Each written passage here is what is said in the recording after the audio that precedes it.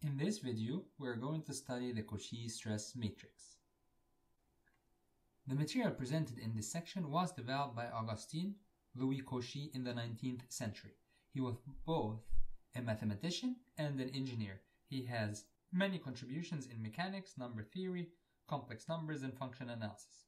The theory of the stress that he developed is very important for the mechanical design of any component.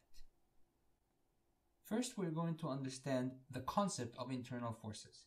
If I have a bar under external loads and then I open the bar up and look inside the material, then I will find some small forces acting on the material points on that surface exerted by one side on the other, and the two sides have equal and opposite forces.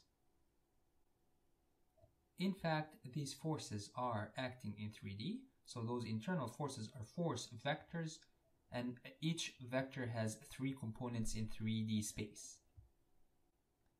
The traction vector, or the stress vector at a point, can be found by finding all the forces acting on the area surrounding the point, the area with a value delta A, and the area has a, a normal vector n, and finding all the forces all the force vectors acting on that area.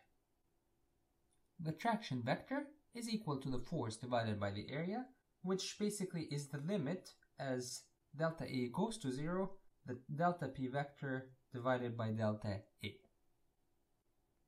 Invoking Newton's third law, every action has a reaction that's equal but opposite in direction.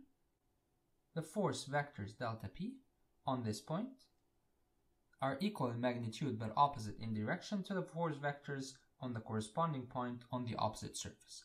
And therefore the traction vector on the surface with normal vector negative n is equal to the negative, the traction vector on the surface with a normal vector n. After defining the traction vector, we wish to know how to calculate that traction vector on a surface with normal n and how it changes as n changes. If the area changes, what is the new value of Tn? And so on. We will show that this traction vector can be calculated using a matrix called the Cauchy stress matrix. And we will develop this by studying something called the Cauchy stress tetrahedron. First, we're going to look at a material under load. We're going to extract a cube from the material and look at it under a magnifying glass. And then we're going to look at three of its surface, the surface that's perpendicular to E1, the surface that's perpendicular to E2, and the surface that's perpendicular to E3. On each of these surfaces, there is a traction vector. The first traction vector is called TE1. This is the traction vector on the surface perpendicular to E1. The second is TE2, and the third is TE3.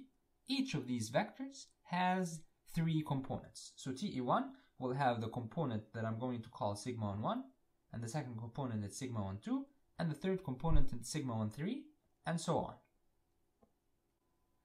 Knowing these stresses, or these traction vectors, I'm going now to look at a tetrahedron made out of four surfaces. Three surfaces that are perpendicular to E1, E2, and E3, and one surface that is perpendicular to a general vector n.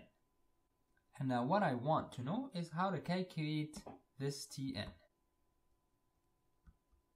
Knowing these stresses that are acting, or these stress components, that are the traction vectors acting on the surfaces perpendicular to E1, E2, and E3.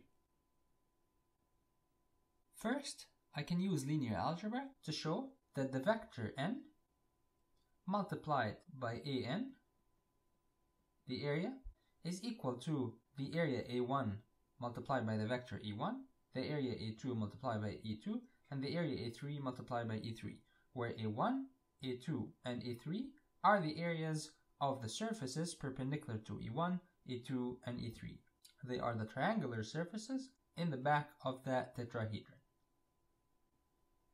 If I divide the first equation by an, then the vector n is equal to n1 e1 plus n2 e2 plus n3 e3, where each of these small n's are equal to the corresponding a divided by an.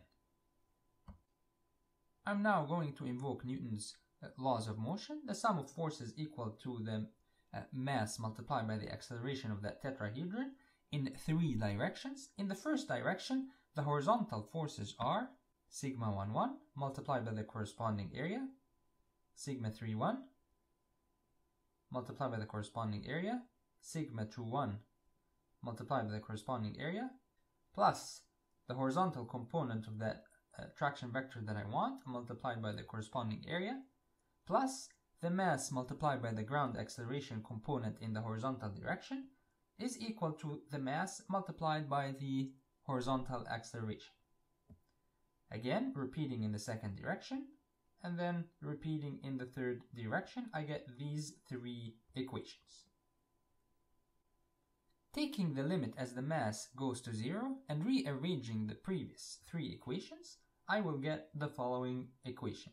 Tn1, Tn2, Tn3 is equal to sigma 1 multiplied by n1, sigma 2 1 multiplied by n2, plus sigma 3 1 multiplied n3. So I can write it in this matrix form. Or if I call the vector Tn, the vector, the traction vector that, I'm, that has those three components, I call it Tn, this is equal to a matrix that I'm going to call sigma transpose multiplied by the normal vector n.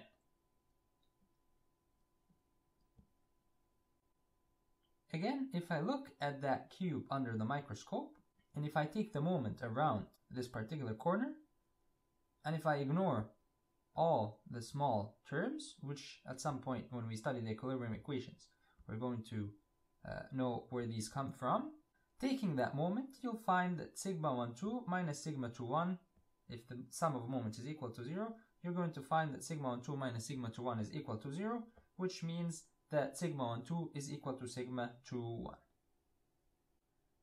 If I repeat this in the other directions, I will find that also sigma 3, 1 is equal to sigma 1, 3, sigma 2, 3 is equal to sigma 3, 2, which means that the stress matrix is a symmetric matrix. And this is a consequence of the moment equilibrium of the material. On the website, you have a tool where you can enter the values of the stress matrix and enter the values of a, a normal vector n or a vector n. And the, the tool actually normalizes the vector. And then the tool calculates the force or vector per unit area or the traction vector acting on that surface with normal n and you can try it out and see if you can do it by hand as well. The normal stress is the component of Tn in the direction of n. It is basically this projection when I project the, the force uh, per unit area vector or the traction vector on the normal to the surface. So this value is the normal stress, which is equal to the dot product between Tn and n. The remaining part is the part that is parallel to the surface and it's called the shear stress vector. The norm of that is equal to the shear stress. So if Tn is decomposed into the normal stress plus the shear stress vector, the shear stress is equal to the norm of this shear stress vector, which is equal to the norm of Tn minus sigma n in the direction of n. On the website, there's a tool given a three-dimensional vector n, which gives me the area vector, and given a stress matrix, you input the values of the stress matrix, it will calculate and draw the traction vector, Tn, which is equal to sigma transpose n. We'll calculate the normal stress and the shear stress vector and the shear stress value. And remember, the normal stress, if it's positive, it means that this area is under tension. If it's negative, it means that the area is under compression. The stress matrix is symmetric. Sigma 2, 1 is equal to sigma 1, 2. Sigma 3, 1 is equal to sigma 1, 3. Sigma 3, 2 is equal to sigma 2, 3. So this value is equal to this. This value is equal to that one. And this one is equal to this one. As we studied in symmetric matrices, there's always a coordinate system in which the uh, representation of that matrix is diagonal. And this coordinate system is made out of the eigenvectors of the matrix. So in a coordinate system made out of eigenvector 1, an eigenvector 2, an eigenvector 3 of the uh, matrix, the matrix has a diagonal representation, sigma prime is equal to q sigma q transpose, and this coordinate system, the matrix has components sigma 1, 0, 0, 0, sigma 2, 0, and 0, 0, sigma 3. Where sigma 1, sigma 2, and sigma 3 are these components, and there are no shear stresses. And of course, Q is the coordinate transformation matrix made uh, using the components of these eigenvectors in the original coordinate system. The eigenvalues of the stress matrix are called the principal stresses, sigma 1, sigma 2, and sigma 3. And the principal directions are the eigenvectors of the stress matrix, eigenvalue 1, eigenvalue 2, and eigenvalue 3. And in a coordinate system made out of those eigenvectors, the stress matrix is diagonal, only has three uh, components, the rest are zeros. On the website, you have a tool given the components of the stress matrix.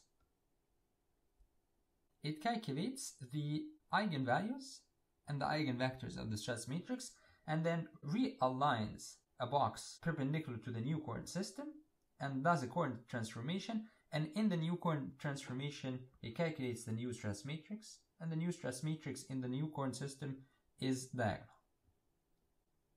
Of course, the extension of this in 3D still applies. And you have another tool on the website given a stress matrix. And after calculating its eigenvectors we can find the coordinate transformation from the E1, E2 and E3 to EV1, EV2, EV3. In this new coordinate system, sigma prime is equal to Q sigma Q transpose, and it's a diagonal matrix. There are no shear stresses, only the normal stress components.